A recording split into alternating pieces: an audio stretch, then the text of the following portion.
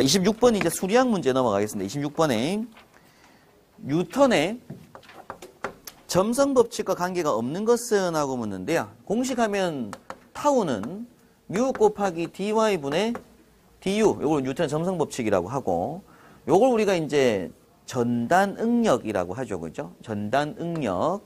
압력 단위긴 한데 이제 마찰력 개념입니다. 요건 뭐라고 하고요?